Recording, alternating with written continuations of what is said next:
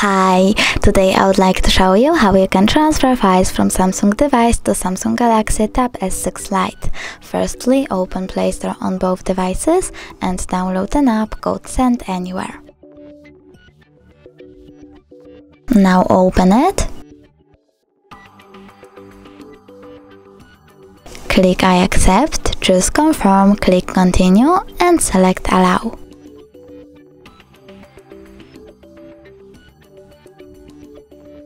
Now you want to go with receive on this Samsung device and send on this one.